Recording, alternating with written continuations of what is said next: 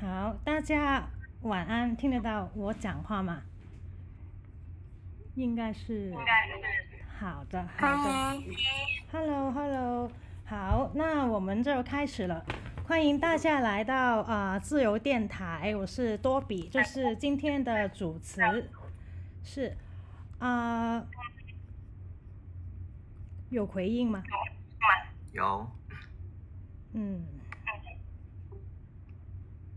有回应。有听得到。听得到。好。对。那啊，首先呢，就说一下，是我自己的回应是不是？嗯。啊，主学的人，我要先静音你一下。OK，我按就好了。好，谢谢。好，那啊，对对对，那呃，先说几个几个事情，呃，第一就是啊，我们的文字讨论呢，你们可以现在在左边的呃 menu 那里看到 AMA 事实文字讨论，按进去以后呢，因为上次呃有不少不少人都找不到，那我再说一次，就在呃右上方有一个井号，看到了吧？然后按。进那个井号，就是上方那里井号，然后你会看到一个金形状的文字方格，你再按进去，你的左边的 menu 会出现今天我们的讨论的区，然后你要按进按进去加入，啊，加入了以后呢，就可以在那里讨论了。那我们为什么每一次都要这样做呢？是因为每一次独立的。啊，AMA 有一个独立的讨论的话呢，那我们方便以后可以找得到，就不用就呃 wash away 了那个 history。对，然后呢，呃，n 呃完结了以后呢，你在那个 menu 的那一个讨论区，你按离开的话呢，你就会不见了。然后你以后想要 review 的话，可以再去井号再找回就可以了。对。然后，那我们待会文字的话，就在那一个讨论区里面讨论好了，就是零三二四那一个啊，那一个 channel。对，第二个事情呢，就是啊，今天出席这个 AMA 的人呢，都会有一个啊 P 啊 POP POAP POAP。那这个 POAP 呢，我们啊。应该这一次会啊放到那个呃 Polygon 上面，OpenSea 会看到的，就不同我们之前的 POAP。对，然后呢，请大家呢参与这个 AMA 之后，在自己的 Twitter 发一个啊短短的感感受吧，就是一百四十字以内就可以了。因为就是有一个 limit 吧，如果你想写长一点，就在下面的留言自己再写，就是要用自己的账户写而，不要在我们那边留言呢，是自己那个账户发一个 tweet，对，写了以后呢就 tag 我们的 Twitter account，对，就是中文的那个 Twitter account Matters Lab，对，然后呢就把你自己的 tweet 就放到我们零三二四这一个讨论区，对。对啊，然后呢，我们就会在下个星期了就发这个呃这个呃 POAP 给大家的了。对，第三个就是最后一个就是你如果不说话的时候就关掉你的麦克风。对你关掉你的麦克风，如果有人在呃没有关掉的话，我会强行把它关掉了。对，然后如果要说话的话，你就自己开。然后如果你想要文字讨论的话，就在文字文字区讨论好了。好，那我们现在开始。就今天很很高兴，就请到请到两个呃 guest 来跟我们分享。我们因为今个星期就是我们 Logbook 二点零，就新一代的 Logbook 上线吧，就是啊。解决了这个 gas fee 比较贵的问题，对。然后，所以我们今个呃 week 就想讲这个创作者经济，对。意思就是说，创作者从 Web Two 的世界去 Web Three 的世世界做这个呃创作，对。那现在其实已经有不少人在这样做了，就把自己的文字，然后 music，还有他们的啊 art。就放在这个区块链上边，对，呃，有呃大很多人都认为了这个行为可以呃解决这个 Web Two 的呃呃付出更待遇不成 ratio 的一个的问题，就是一个出路呃出路了，对。所以呢，呃，也是有人这不呃为了兴趣，还有就是一个 x 啊，就是一个实现实实验，对对对，就是为了兴趣，还有就是尝尝试去做这个事情。对，那我们今天请来的两个 guest 就是啊，Nadia 和曼庄，就是他是作家、数位制作人啊，你们可以在 poster 看到他们的啊 introduction，对。然后啊，另外一个就是主学的人，就是诗人跟作家，他们两个的共通点就是他们都曾经把自己的文字作品就呃 means 做这个 NFT。对，那欢迎两位，两位，那不好意思，我的普通话不太好，那两位可以先简单介绍一下自己吗？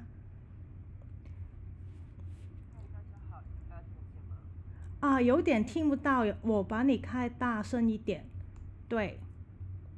这样听得清楚吗？嗯，可以大再大声一点，但是还好，对。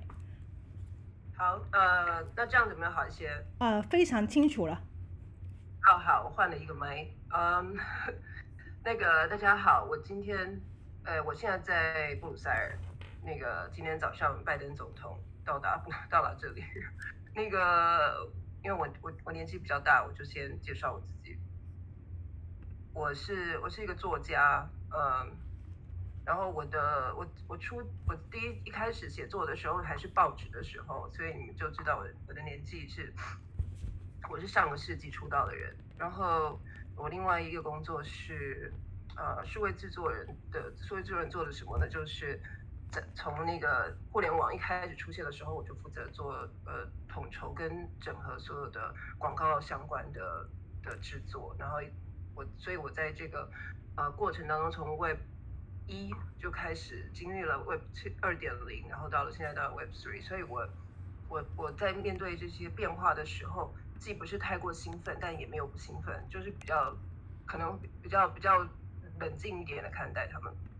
那所以另外现在我的身份是。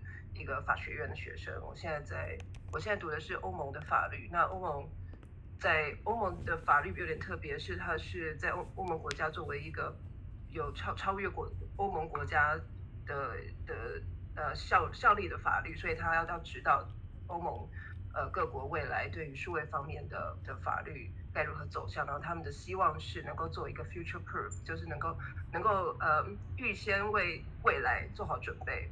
因为他们也了解到，呃，数位发展实在太快了，所以这就是我我比较擅长的几个领域。所以今天今天我的鼻音比较重，因为最近感冒了。那希望可以呃回答到回答到大家的问题。很高兴今天也可以可以跟主选的人一起同台。好的好的，听得到。那呃。好，那主学主学的人，你可以啊介绍一下啦。好，很高兴今天可以跟何老师同台。那我是主学的人，我是主要是写诗的。我大概二零一零年开始用这个笔名发表作品。那如果是有在场写诗的朋友们，就是我二零后来有创办一本诗刊叫好汤诗刊。那不管是台湾或是香港的朋友，蛮多人都有来投稿。那我一直到二零一七年的时候，我跑去日本读日本文学的硕士，日本的法政大学。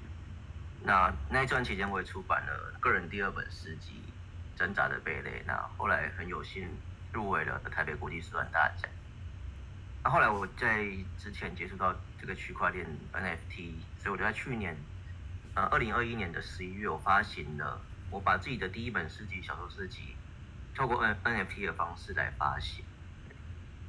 那我自己写作经历，我大概我开始写二零一零年那时候，差不多就是 Web Web 一差不多要进入 Web 二的时候嘛，就是我高中大学的时候，大家还在盛行还是部落格。那大概大学的时候，就是 SNS 就开始流行。那所以我算是从 SNS 开始起来到现在，可能有人觉得有点衰退，这个过程我都是刚好就是我的创作过程这样。那现在很幸运的就是有点像是可以进入 Web 三的这个领域。那我自我介绍到这边。哦，好的。那啊，我想你们刚才也有说到一一点，就是为什么当初会关注这个呃 crypto web 三的原因，可以再解释多一点吗？当初是有什么呃吸引的地方让你们去呃去呃观察，还有就是投进去这里了？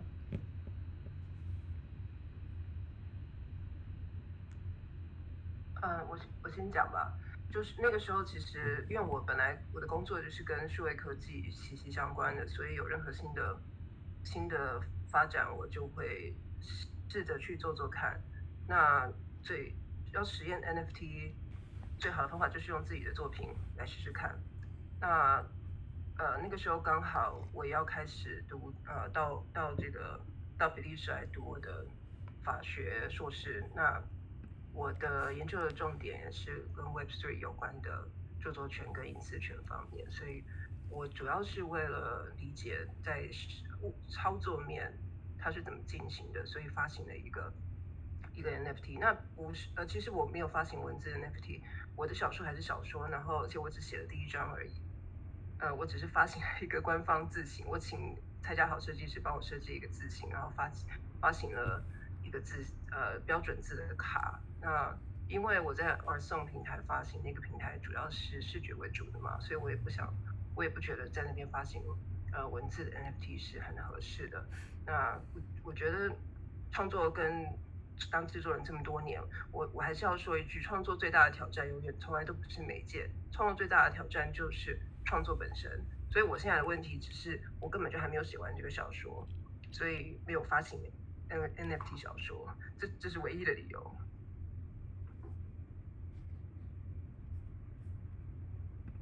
好现在换主选的人说。OK，好。哎，对我声音清楚吗？很清楚，清楚的，很好，声音很清楚。那我就是因为我可能跟很多人一样，就是之前就一直都会有耳闻所谓区块链啊，或者加密货币这种东西。那 NFT 这个东西正是可能很早就有接触这个词，但是可能没有记住它。那我印象比较深刻的是，我去年二月看到那个，不知道我们知道那个彩虹猫的那个迷影。那个 Young Cats，他用一千五五百以太币成交。那这个新闻我不知道怎么就记得很清楚。那如果真的要去回想，我什么时候开始关注到这个词，就大概是从那个时候开始。那后来我就是我加接触加密货币，一开始的目的就是因为我想要去了解 NFT 是什么。那我就是大概去年的九月，就我从日本回来，刚回来之后，我就。请教了一些有在玩加密货币的朋友，但是我一开始就很确定我的目标是，我想要先第一个先理解加密货币怎么运作，再再去才能去理解说 NFT 是怎么运作的。那其实这中间我很多部分的知识就是来自 Matters 上面的一些文章，所以后来我发我第一个 NFT 也是，应该说我入手，哎，其实有点忘，Travel Traveloger 是什么时候发行的？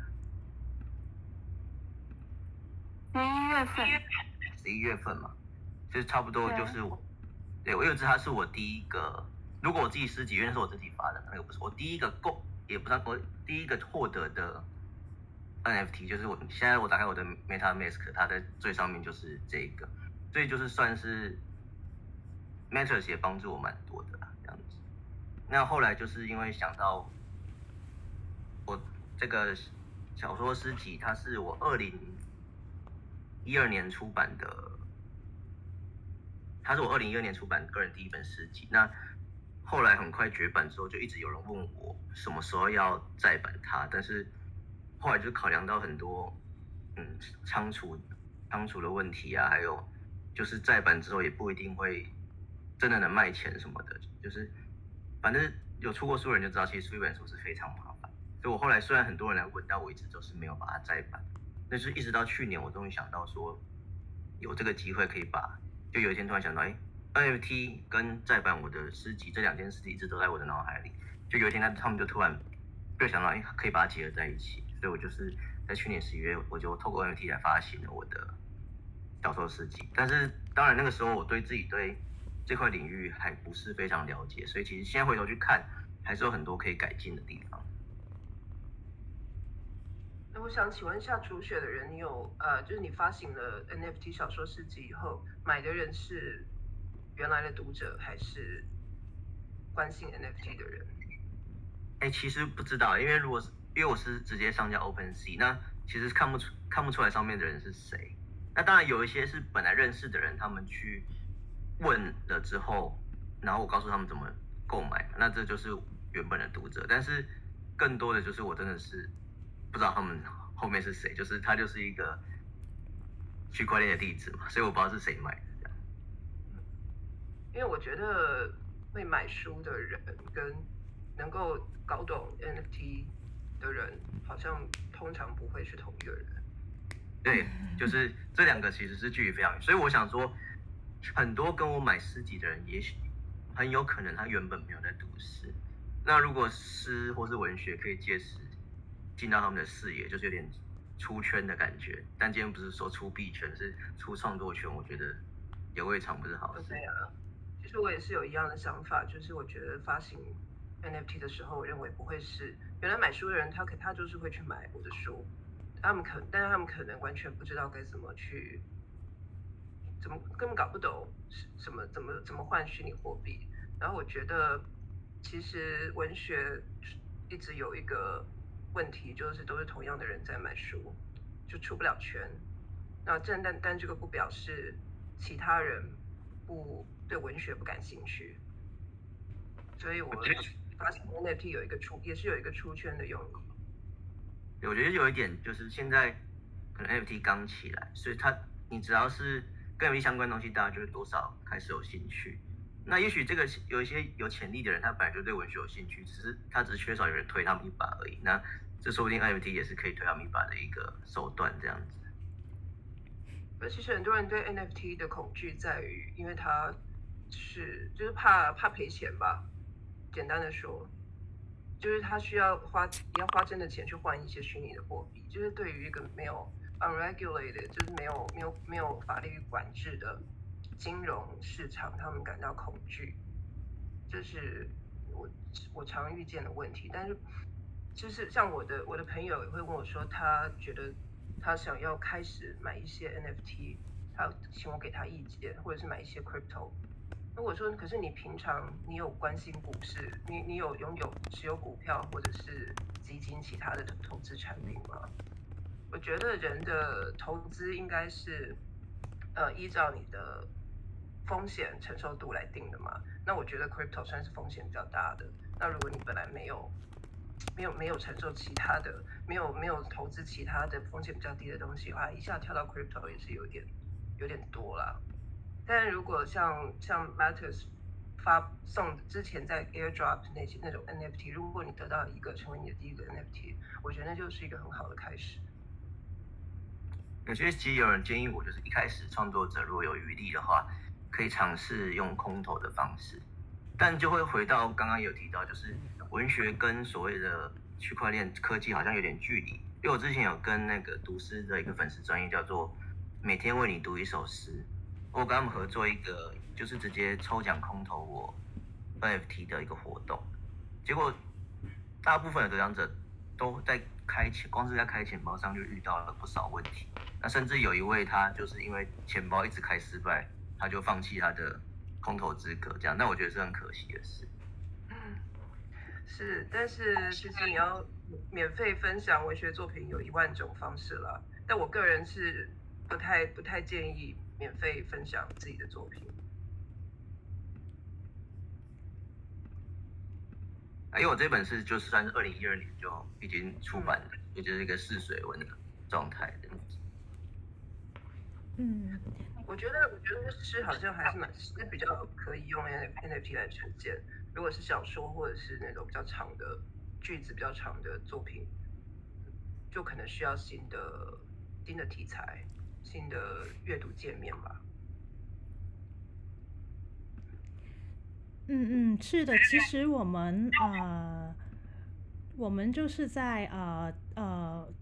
上次的 AMA 也是呃有讨讨论过，就是呃创作者其实在 Web3 搞着自己的作品作呃自己的作品也有不同的困难，也现在我们看得到比较呃比较做得大的，其实它本身也是有不同的资本，那呃呃其他人可以怎么？去弄才可以解决到 Web Two 遇到的问题，这个也是要我们还是在很 early 的 stage。那呃，然后就是刚才说得到，就是文字其实比较难在 NFT 里面出现，因为比较长吧。啊，四就是呃例外来例例例另外的例子了，对。然后少数的话就是它。我就觉得现在流行的其实都是一个呃 image 那个图像，还有就是音乐吧。那呃我们在呃那个技术上怎么样去把更多的文字可以放进去，而更方便可以看得到，都是另外一个有待要发展的事情。那我想问两位，就是两两位，就是你们在呃。尝试的过程里面，就是呃，你们怎样去看这个创作者竞技技现在目前的发展呢？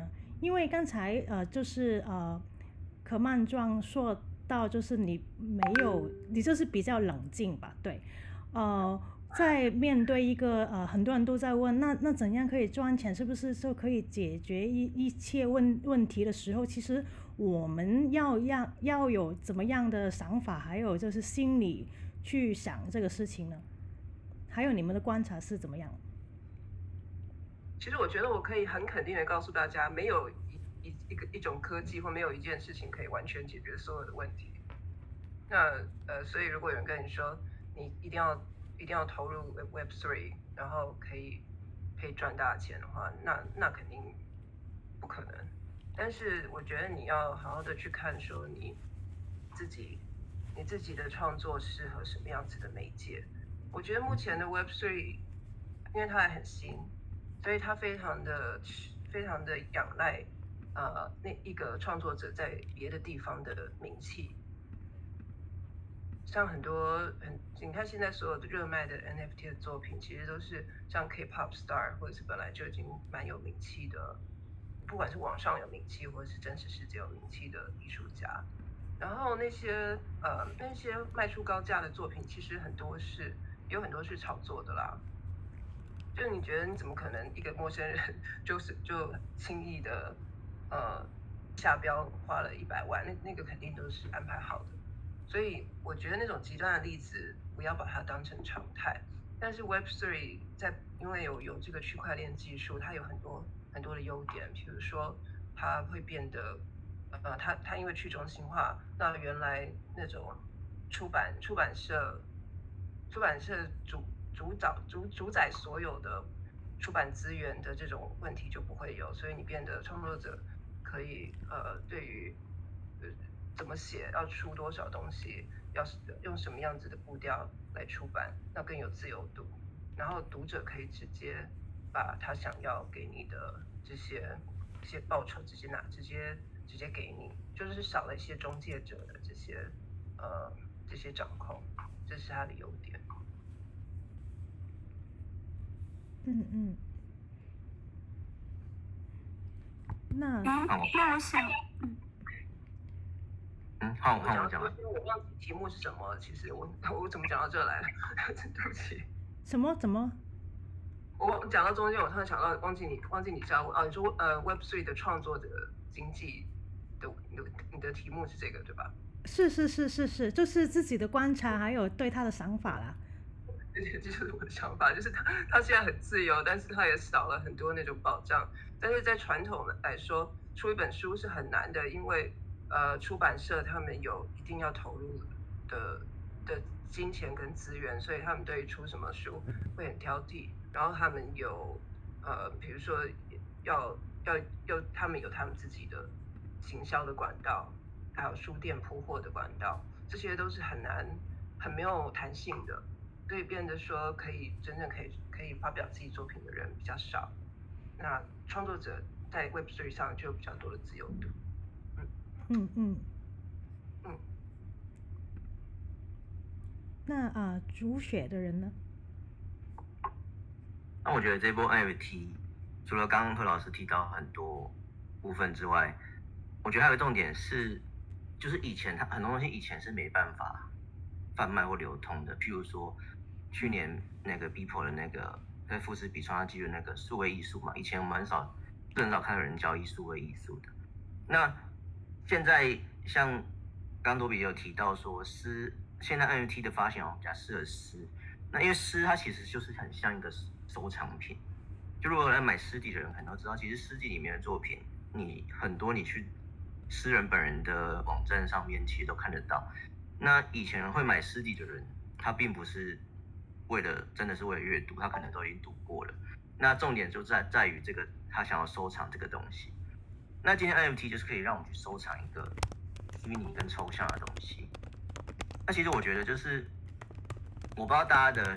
想法是这样，我自己的例子是，我这几年会越来越觉得说，其实物质的东西其实没那么重要。譬如说举个例子啊，NFT 它其实很早很早就被应用在那个 N NBA 的那个收藏球员收藏卡上面。大家如果有 follow 的话，可以知道。但虽然是在 Flow 链上面是比较冷门的一个链，那因为其实我们以前收藏卡就只是想要它的。不能说只是，但是就是大部分是为了他的，比如说稀缺性，或者说他想要借此证明说自己喜欢这个球员，或者喜欢这项运动。所以其实我们要的东西常常一直都是一个抽象的东西。那一样，我们买一本诗集，如果它不是，它有可能是装帧很美，但是我觉得更多时候是，我想要表现说我支持这个诗人，或是我想要表现我的品味，我喜欢这类的作品。那这个时候其实它是不是一个实体的物质？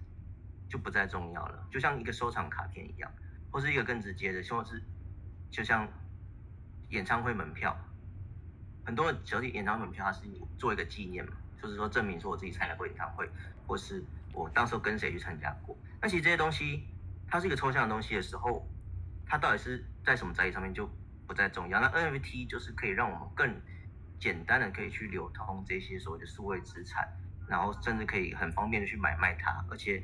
如果是区块链技术一直都存在的话，它甚至可以比所谓一些纸本的一些或者一些传统媒介更容易持久。这样，那我觉得这就是一个所谓数位创作者，或是其实因为文学它本身也就是一个抽象，一个没有实体的东西嘛。那这是对于这些虚拟创数位创作者来说，它是一个新的机会，就是在这边。嗯嗯嗯嗯。那那我想问一下，就就在你们做这个尝试的时候，就是呃，对，就是遇到一些困难呢，还有就是其他人或者是不太懂现在要怎样买，那呃整体的反应就是你们身边的人对你们这个呃尝试是是有怎么样怎么样的呃看法，还有什么样的他们有有没有去问你们多一点，就是呃要怎么样去。呃，延续这一个尝试呢？因为我就是想，就是呃，在呃，就是说，呃，作作为一个呃，在纸在 paper 上出版的一个人，他要去尝试这一个呃出 NFT，其实是一个我觉得是一个蛮大的尝试了吧？对。然后你们觉得身边的人给你们的反应是怎么样的呢？嗯，买我的 NFT 的人啊，都是怎么讲？因为我我的朋友好几好几个圈子，然后有很多人这一这一辈子也没看过我的书，然后我也原谅他们，因为就不同的人。然后这个时候我发行 NFT 的时候，有一些做科技业的人，然后他们就买了买了我 NFT 以后，一直自来跟我说我买了 NFT 这样，然后内容他也没看了，反正他就是买了。所以很多人就是为了一个知识，有很多人买了我的书也没看的，所以呃，我我觉得现在创作者经济或者是文学作为一个商品啊，它其实其实很多时候它就是一个一个消费品或者是娱乐，那 NFT 也 NFT 跟书其实也都只是消费的选择而已。就是我觉得大家就选他们方便的去买吧。嗯嗯。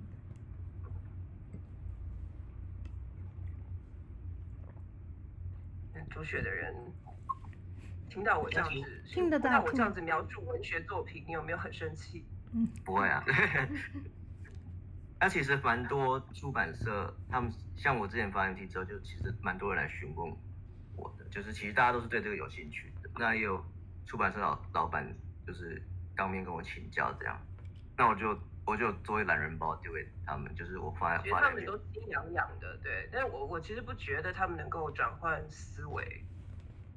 对，我觉得这应应该说，其实我觉得他并不会真的去。取代传统出版业，只是说它会是一个新的，对啊，不会的，因为它因为传统出版业的的利益链已经非常的 solid，就它已经在那里，他们不会去改变。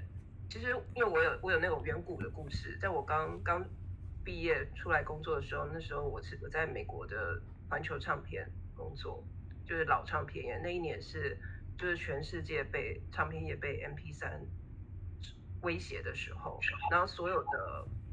其实，所以，所以，其实我们觉得那些发生的事情，以前都已经发生过。就是呃，那时候唱片业都都觉得非常生气，因为他们才是，觉得他觉得他们才是合理的代理人。然后这些盗版都该死。然后，所以他们也自己发行了 MP3 的，就是数位音乐的服务。但是，所有的唱片公司自己做的 MP 的数位音乐服务全部都失败了。呃，唯一成功的只有呃，就是网络原生的 Apple Music。然后后来还有很多我们现在常用的、常用的这些服务，所以我觉得，我觉得所有的那种传统的产业链，呃，因为已经太太大太重了，他们不太可能去改变成为可以符合新的新的媒体 Web Three 的发行方式，他们可以继续做他们的事啊，因为现在其实还是有人买 CD，还是有人买书的，那 Web Web Three 只是一个新的新的选择而已。但如果是比较 NFT 的话，我觉得其实传统出版业可以尝试去使用这个技术。嗯，像我之前有想到的一个是签名书的部分。嗯，就是其实现在很多签名书有分成两种，一种是你当面见到作者本人拿给他签名，然后可能还会有日期这样。但是更多我不知道国外状况但台湾有很多是所谓的首发签名书，就是说他他第一批货的时候。他第一批一第一刷每一本都有作者的签名，那买到人可以借此，第一个他可以很轻松拥有作者的签名，第二个就是他可以证明说这个是首刷，但是这个部分其实就是可以去尝试用区块链技术来取代的一个部分，所以我觉得传统出版业它不需要为了 Web 三就是说啊放弃要改变做法改变路线，但是它可以去尝试去就是用一些 Web 三的技术来让。毕竟出版市场已经很萎靡了嘛，就是来提升这个市场的活跃度。可是你像你刚刚说的这些事，我不明白为什么作者不能自己做，一定要出版社来做？对，作者也可以自己做啊，只是说他可以取代既有的方式。因为我认识很多人，他们觉得，因为作我作者是作者，出版是出版，就是其实其实，在法律上，呃，你的著作权跟你在哪里出。跟你在什么用什么媒介或者是在哪里出版一点关系都没有，你的作者权是无可分割的。就你当你把这个作品做完之后，这个作品是你的了。那其实其实著作权法一直一最早著作权法在英国，那个那个著作权法之所以颁布，是因为是为了保护作者不被自己的出版社剥削。觉得大家都其实其实其实读者跟作者的关系不是那么紧张，真正呃在法律上出版社被认为是 exploiter 就是剥削者，所以所有的法律都是为了著作权，呃出版社不要垄断作者权来而而颁布的，所以我觉得很很很多作者呃在发行的时候处于一个。呃，处于一个权力非常不对等的阶段，他们可能会被呃怎么讲？我想要问一下，就是这在在今天在这边的创作的人，如果有签过合约的话，有把那个合约读完的人有没有？嗯，主选的人要读吗？有，但是我出版社对我还算蛮好的。那就好，有要至至少要读自己的合约合约啦。对，因为很多人都呃怎么讲，我大部分创作者对于自己有拥有什么跟不拥有什么搞不太清楚，然后也没有读合约就签名了，然后每次发现有问题的时候都是进法院的时候。我觉得反而是因为至少在台湾状况是文学的 市场太小，就因为他今天市场小的话，没有那么大的经济利益，对。对他其实，他去剥削创作者，呃，You be surprised。那么没有有有有发生过，而且还没多少钱，但是我们等等一下再说。八卦。嗯，对，我像吴青峰的版权事件，就是哦，我们是一个非常讲讲感情的。社会哈，台湾人就会说，哎，我怎么会骗你呢？你是我心爱人，然后就就签了，所以到最后吴青峰会因为唱自己的歌被告，这事情就是会有很多这种事情发生的。因为我想，因为刚好 Nadia 也是现在在做版权，然后我想问一下，就是。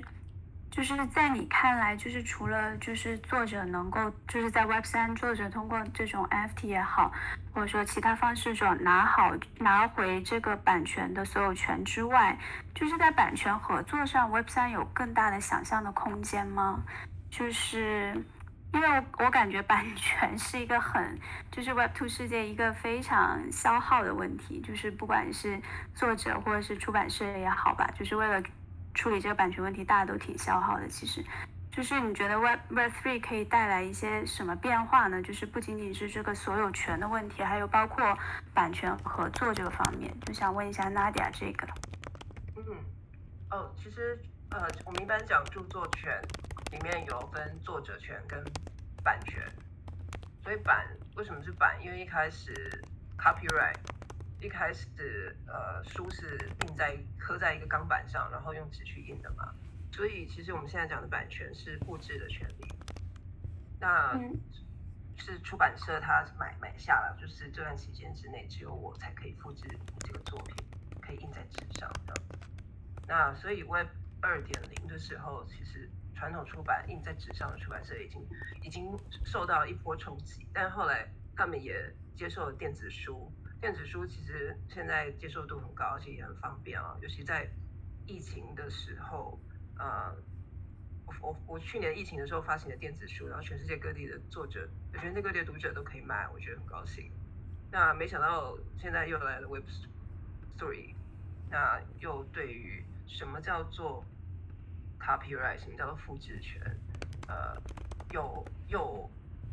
又是一个很大的疑问，这个这个没有答案的，就是所有的呃法律人士都在讨论，就什么叫做复制？像呃一开始有互联网的时候，什么叫做复制？你知道，就是 hyperlink 超连接算不算复制？那 copy paste 算不算复制？呃 embedded picture 你把它呃内内嵌算不算复制？这些都是花了好十几二十年才把它讨论出来的，所以我觉得嗯。所以目前欧盟现在有一个全新的数位法案正在审，然后他们希望今年会通过。那但但我不知道对于呃 Web3 他们懂得多少，嗯，但是他们希望能够做，他们当然希望法律可以留很多空间去。他们他们现在的做法就是把这些著作权法留留多一点空间，让未来我们还可以再去补强它。然后我觉得作为创创作者的话。至少在马特式创作有一个好处，是因为我们是呃区块链 base 的创作平台嘛，那至少你的作品的可以溯源。嗯。那你你只要你没有抄袭别人了，如果你抄袭了别人 copy paste 别人的作品到你自己的马特式平台上，那是另外一回事。那我们的 Matters 的的合约里面也说了嘛，不可以抄袭别人的作品。那只要你在这里发发行的话。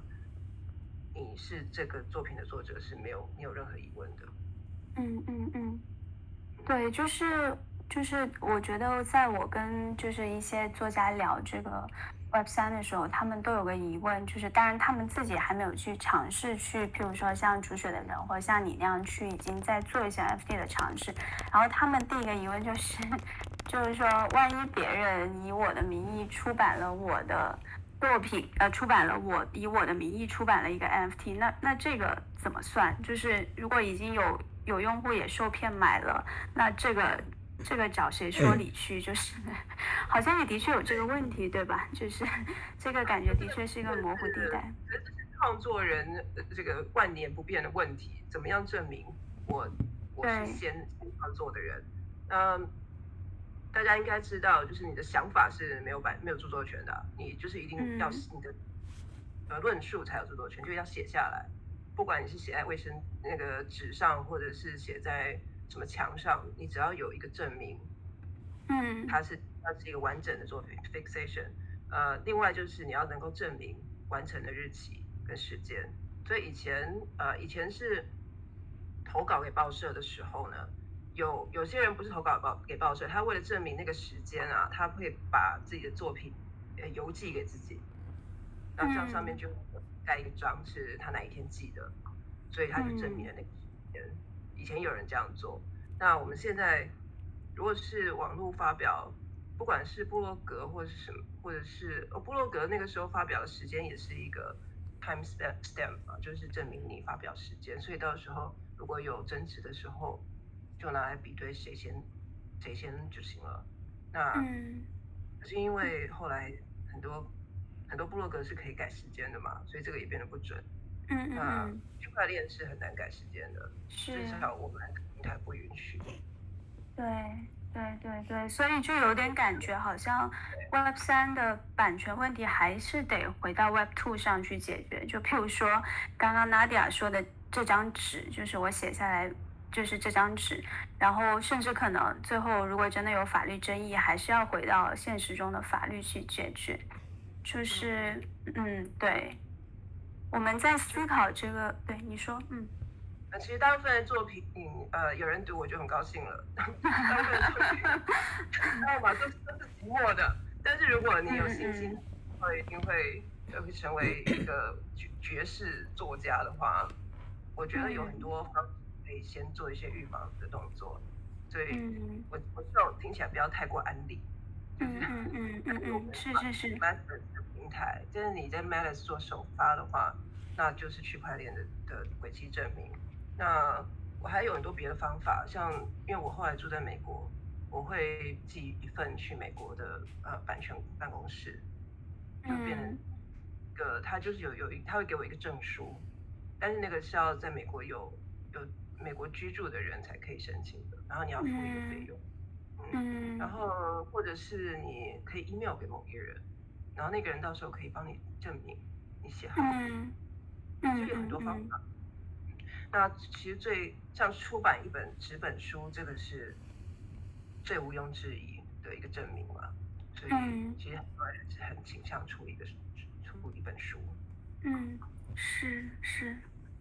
对，然后我还想蛮想问一下朱雪的人，就是说，因为我刚刚看你就是之前发在 Meta 上面那本，就是那本那那篇文章，就是介绍你自己就是 mint 你自己这个 NFT 的经验，然后我就发现，在下面评论区有 蛮多的作者关联你关联了你的文章，然后就说他们也把他们的文学作品或者是其他类型的作品 mint 成 NFT，然后我就是在想，就是呃这个。你你你，当你刚刚你不是说你也不太清楚，就是买你这个 NFT 的读者是谁吗？那你你会觉得说这些买你 NFT 的人，就是他们对你的期待是什么？你会觉得，就比如说你觉得他你你你应该要让这 NFT 升值啊，或者说你会觉得已经形成一个支持你的社群等等的嘛？因为我在想，就是呃，我们这些已经开始去把作品走向 NFT 的这些作者，这个行为。除了对他们是一个尝试之外，有没有可能是另外的一种赋权呢？就譬如说找到更多的支持者等等的。嗯，我是我是不认为会有人 期待我作品会升值，但也许总有人这样子。但我是觉得，因为所谓的如果是创作者的话，我觉得可以大概分，当然不能那么简单概括，但是有些创作者他是名可以一时名气很大。但他可能一段时间，因为有时候我会回回头去看一些，大家会去回头去想十年前的一些，比如说当红的图文作家，但其实真的目前还活跃的很少。那有些作者他是所谓细水长流型的，他可能他的作品你一定要到他一定的年纪之后，那你就会看到他作品的价值。但我是我不是不是说我会这样，但是有时候很多作者他可能年轻的时候作品没有被看见，那等他到一定得了一个什么大奖是什么原因？那我觉得 NFT 是应该是更适合，就是可以让这些创作者，第一个它是版所谓的以目前的交易平台来说。不管你转手几次，它的版税都可以回到原作者手上嘛？以目前的制度是这样。嗯嗯是。那第二个是说，因为是 NFT，它你只要基本上只要没有忘记你的钱包密码的话，它就是一直存在的。那就变成说，它不像以前，说不定我们今天哪个作家得了诺贝尔文学奖，这时候我们要去找他以前的作品的时候，发现他已经找不到，已经。绝版，而且不知道在哪里去，或者甚至书籍有破损。那 NFT 是因为现在刚开始嘛，但是如果是往长远的方向来看的话，他会去更他，会更适合这种所谓细水长流型的作家。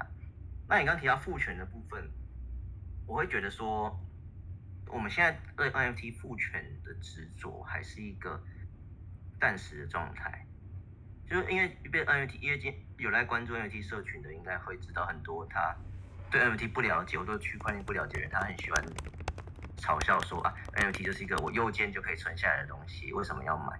那变成很多做 NFT 的人，他为了去说服这些人，他就是就是变得他就开始强调说，哦，没有，我们这个不只是一张图片，我们还有其他功能，有赋赋能这个功能。但我会觉得说，这完全忽略一件事，说世界上本来就是有东西叫做收藏品嘛，它就是它本来就是没有用处的。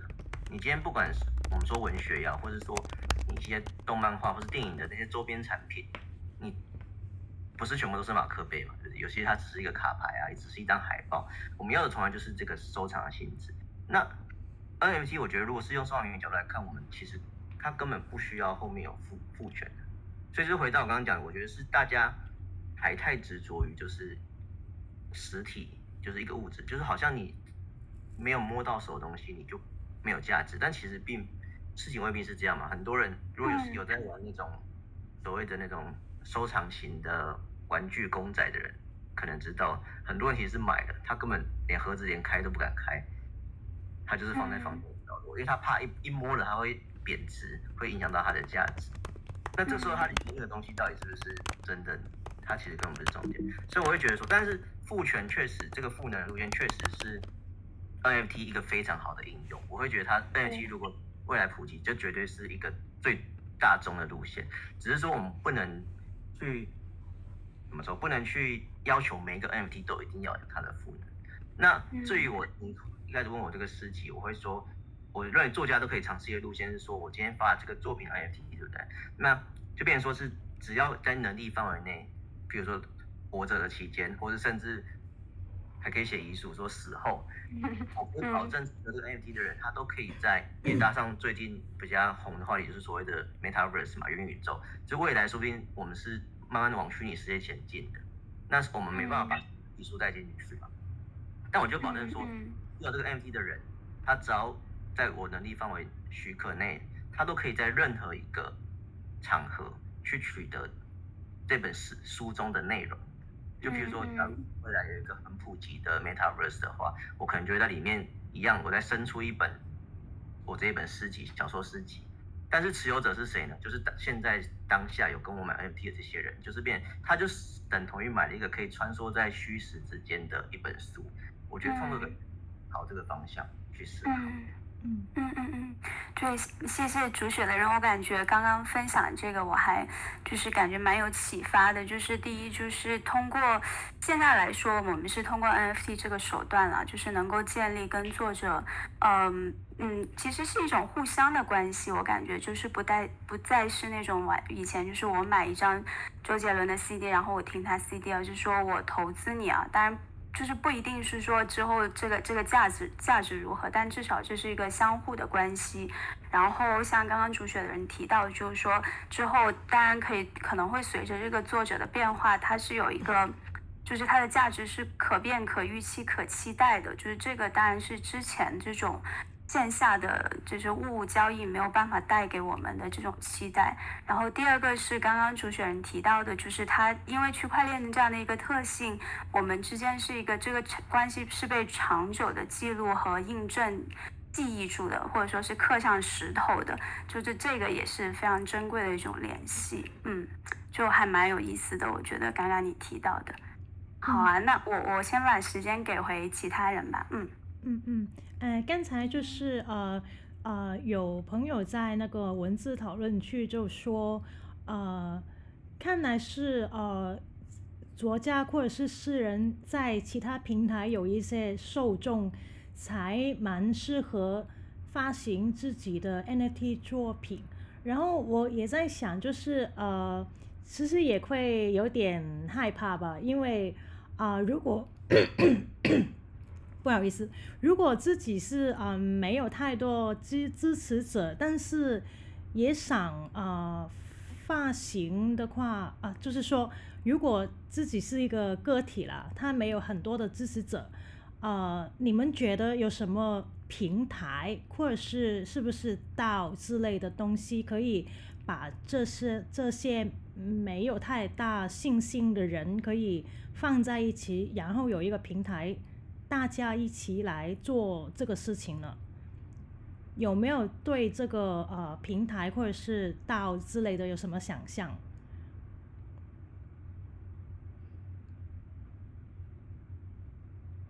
其实，在传统出版，呃，创作也是也是很困难的吧。很多人开始创作，会选择参加学生的文学奖，或者是呃刊物、期刊，或者是合集。他们可以把稿件投到合集，这样压力不会那么大，跟很多人一起同样出一本书。那我觉得我们的平台也可以有这样子的合集出现。像 Travel Logger 是不是有那个有是是？创作接龙，对不对？是是。哎，有一个 logbook，对对对，嗯。它也是也是某种程度的集体创作，就可以，你知道可以分担这个新人的压力。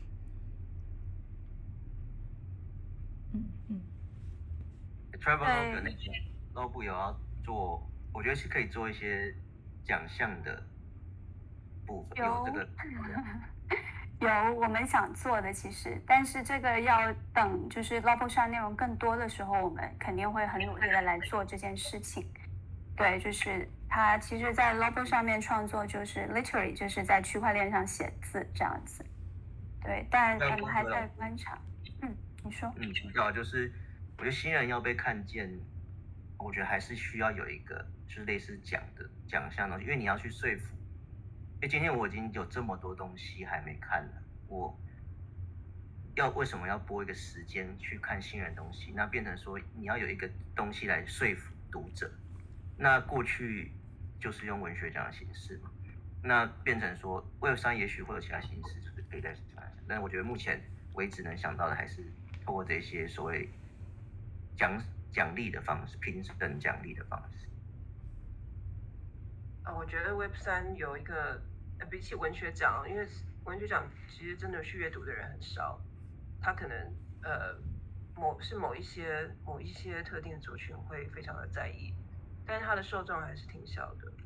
然后最近我最近有看见那个 Matters 上面有用乌克兰语，用用俄罗斯用俄文发在讲自己自己在战区的的文章，我觉得 Web three 是一个。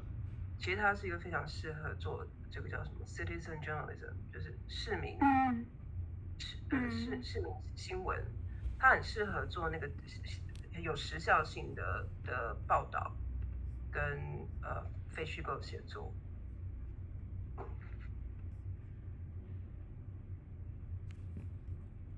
对，就是其实多说一句，就是其实刚刚娜迪亚说的这个，就是 citizen，就是。就是等于公民新闻吧，独立创作者，对这个其实也是在场想做的吧。这个 Nadia 也知道，就是我们的确是想通过 Metastore News 这个平台，让更多的这些所谓就是它可能不是归属于任何的版呃出版社或新闻机构的这种独立写作者也有一个呃去向，就是不仅是他的内容能发出来，而且也能获得收益、被看见。对，这个是 Matters 其实很想做的一件事情。嗯嗯，是我们，因为我现在也跟 Matters，我们也是在努力的朝这个方向去做哈，因为其实，在版权法上，呃。呃，新闻新闻几乎是没有任何著作权的价值的，就是一直都没有。那呃，但是作为文学作品，非虚构写作跟其他的文学作品都享有一样的非常非常最大化的保护。所以我其实一直很，是我跟 Matters 一起在努力的，就是要把大家的的虚构或非虚构写作都一样，呃，作为文学作品来来保护他们。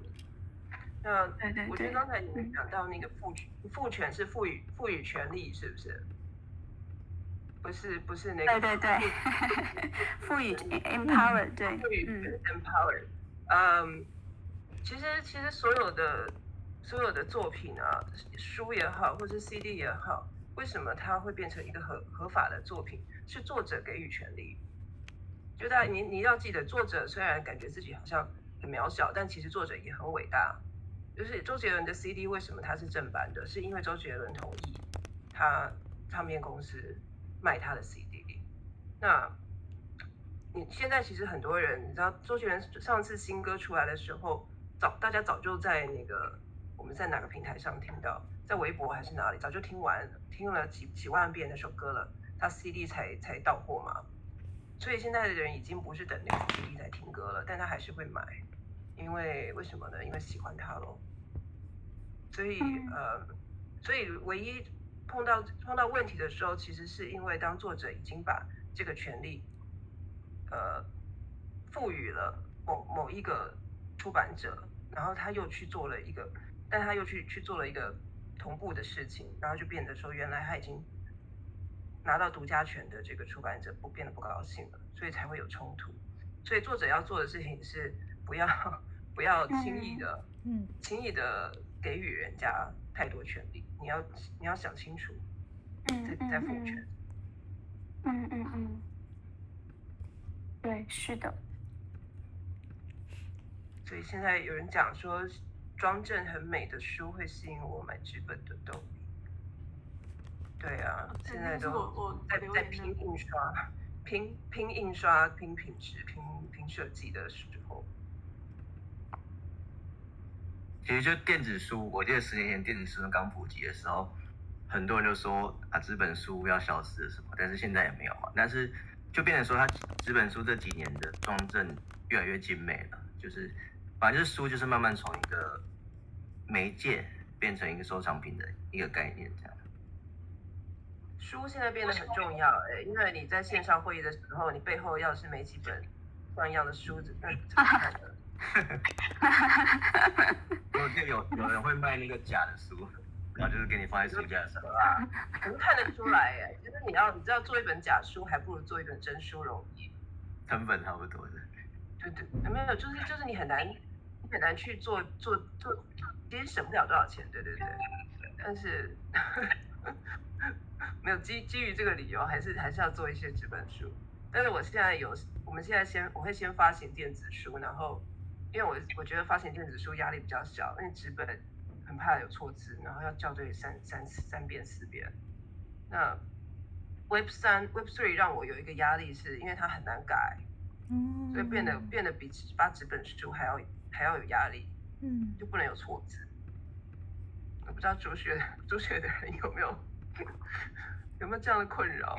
写诗有个好处就是，就算你不小心写错字，你也可以跟人家说那个是故意写错的。哦，也也比较容易看得出来，小字嘛。有诗的诗的部分。是是是。这个字数比较少一点。对对对。诗人很喜欢，有的诗人一看就看到了。对。就是啊，应心，你是不是有问题想问？我看你。哎对，那个其实是我有一个问题，就是想要请教两位讲者，这样呃听得到我声音哈？听得到。对，因为我前半场有事，所以我比较晚进来，我不确定前面有没有聊过这个话题。就是我自己其实一个一直很好奇，就是说，我觉得两位在就是 NFT 上面做这个尝试，其实是走的很前面。就是刚刚我好像有听到 Nadia 说，就是可能。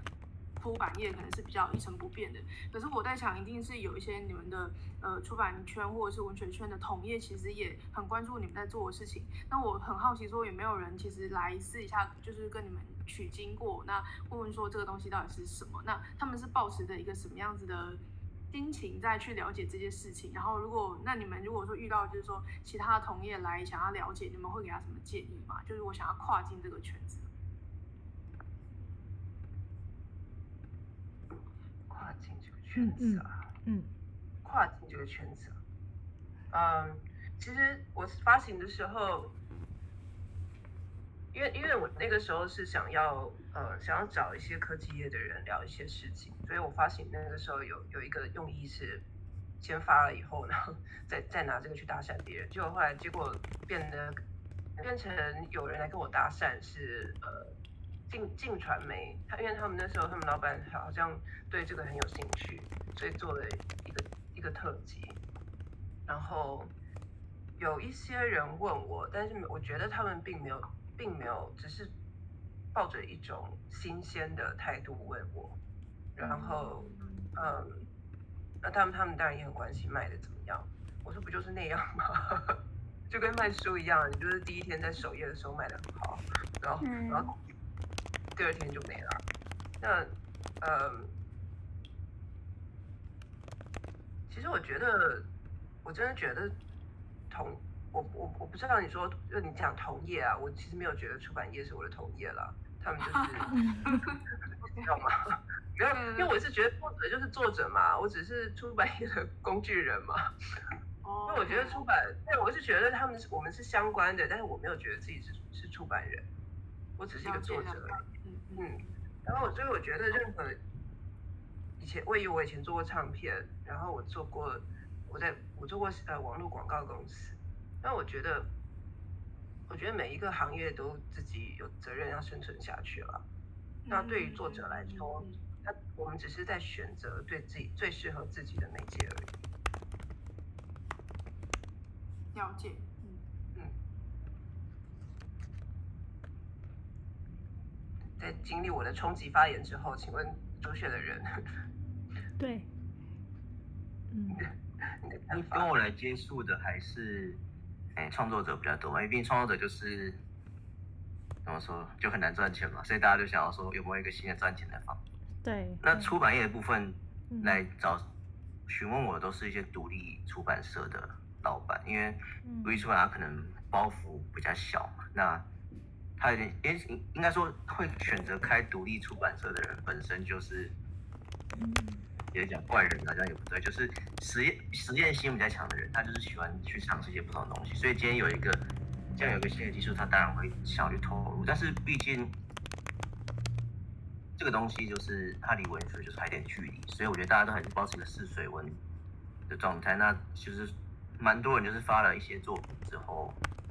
又没有再继续发，有可能也没卖出去或什么。那反而是我有看到一些，他原本不是这个圈子，不是写作圈的人，但是他因为他今天熟悉了 NFT 的操作之后，他也尝试去发自己的文字作品，就反而还得到不错的回响。我觉得这是这反而是一个蛮有趣的现象，就是有点像是文学圈好像还没有在动，但是文学圈外的人反而就突然有点像是有些人就开始接触文学这种感觉。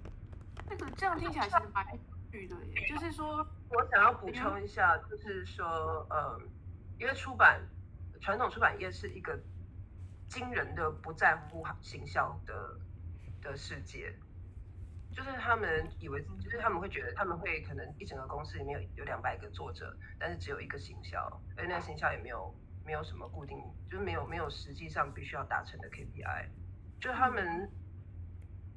到现在我还是觉得出版社没有了解到说，他们把书出出去之后，你必须要去推它，如果你不推它，它就不会卖得好。所以他们如果是在找一个新的发行方式，能够他们觉得一发一丢进去这个池塘，然后鱼就会来吃的话，那不管它移到什么样的平台上都不会有用。所以我觉得现在去年有一些有些传统出版业的人尝试了 NFT 之后，然后他们很失望说啊也卖的不好。那是因为没有没有推它，就是我们我们自己发行的 Travel Logger 之后，也是不是天天都在推它吗？那发发电子书也是，发纸本书也是，发 CD 也一样。发了一个东西出去之后，你要花钱、花人力、花花脑力的去推广它，它才会成为一个经济，而不是只是一个发行。嗯，那我觉我觉得我还没有看见，我还没有看见呃传传统出版者有这样的决心，因为如果他们有要改变的话，那那那电子书跟纸本书本身就可以改变，就可以卖的好一点了。嗯嗯，就是就是 Nadia 意思是说，就是在既有现在的出版业的市场里面，其实本来就有很多可以在提升或改善，或是做得更好的地方，这样子。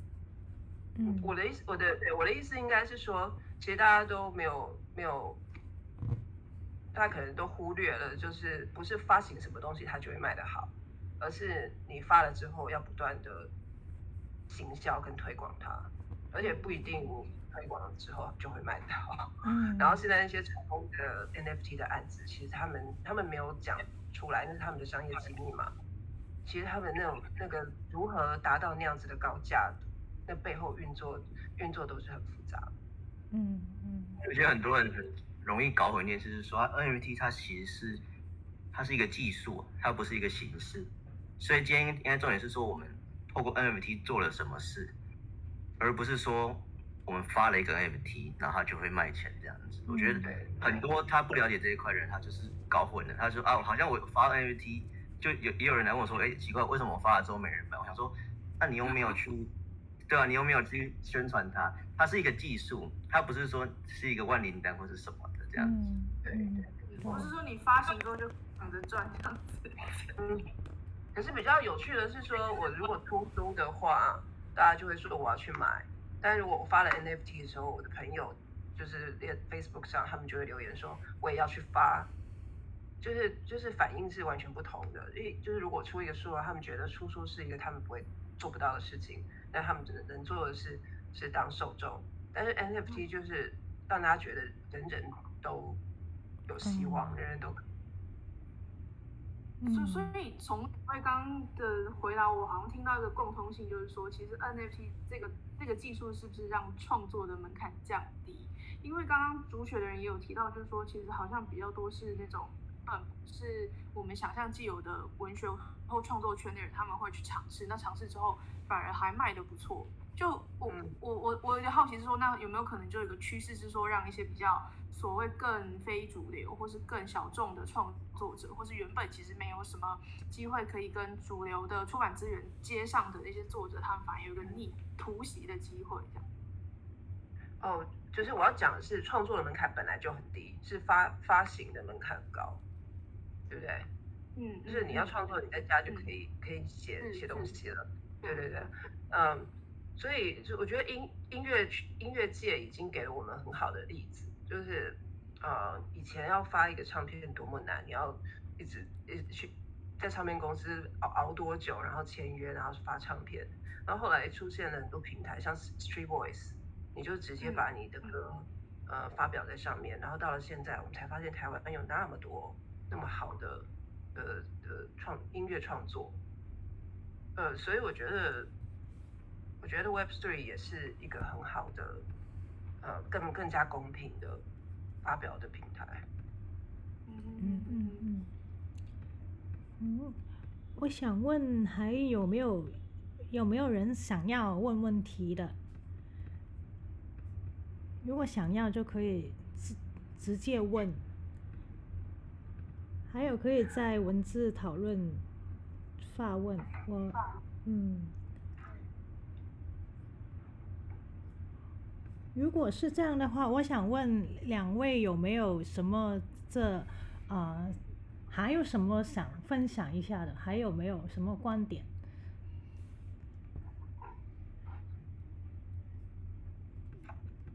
哎，我看到有人在输入哦。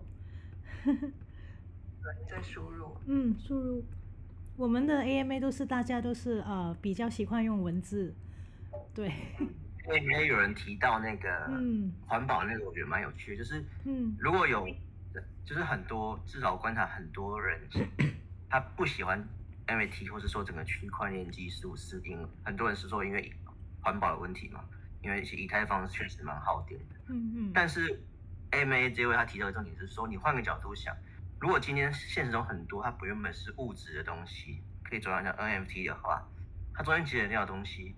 其实应该是远远超过那个电力的。那这换个角度想，它反而是一个更环保的一个行为。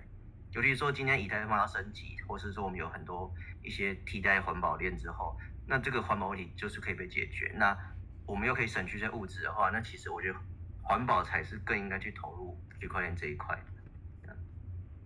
嗯嗯，对，其实现在没有人没有没有研究显示那些数据说。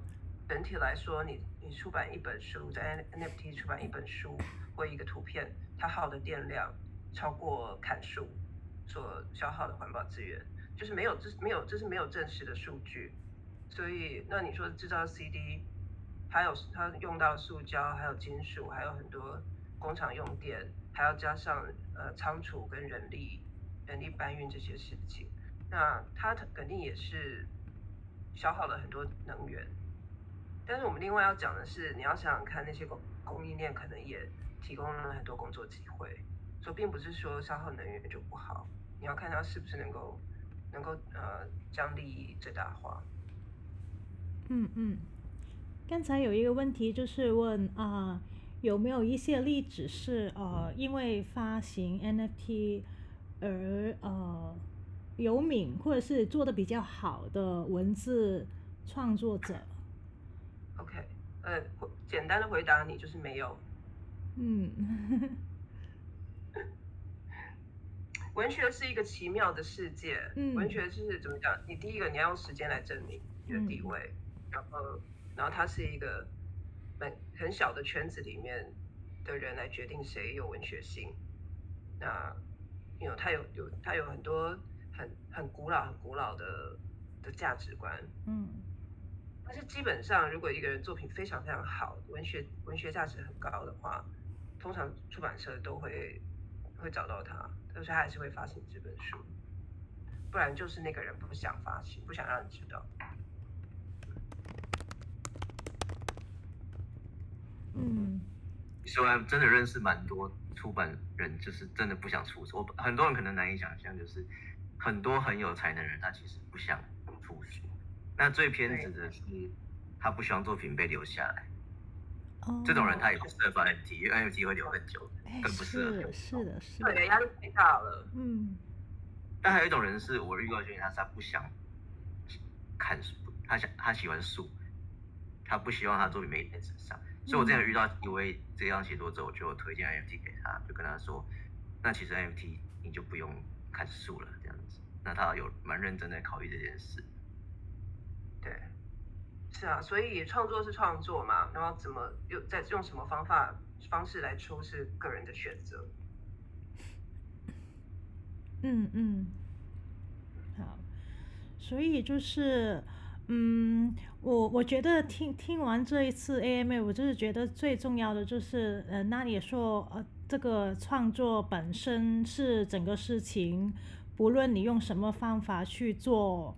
这个发行或者是出版，还有就是呃那个呃主学的人提过这个关系，就是你跟读者的关系，你跟支持你的人的关系，那一个也是蛮启发性的，对，就是他投资你、支持你的意思。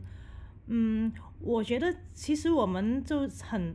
我觉得是有个心态的问题，就是呃，因为创作者呃 w o r f y 这个呃艺术就是蛮嗯 hit 的吧，然后很多人都都在谈，但是有一些人就是一来就是问那可不可以赚钱，是不是可以就解决很多问题？但是我觉得我们还是要呃清楚到底呃这个工具是什么，这个技术是什么，然后它只只只只是一个重力的呃区块链。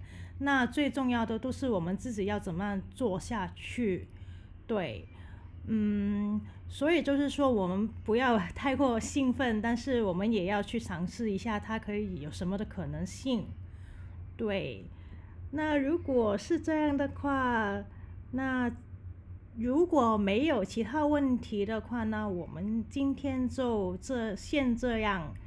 嗯，谢谢两位来这里。如果呃还有其他讨论想说的话，可以在这个文字讨论区留下来。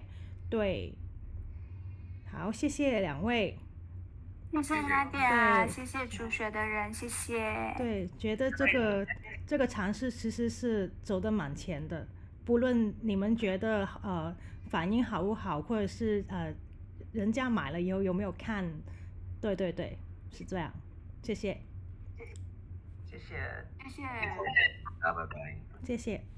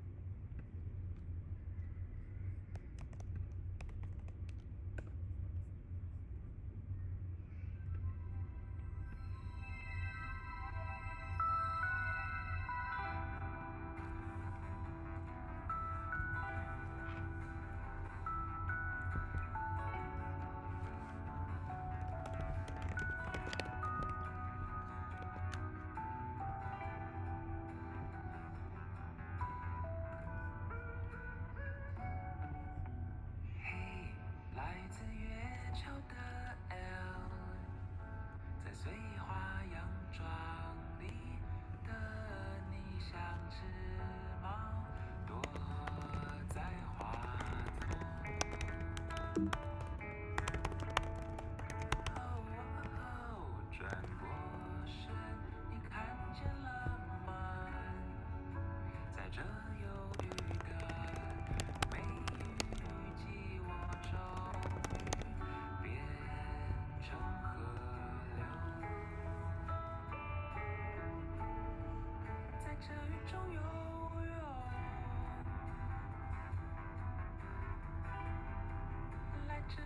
有用，把不彻底湿透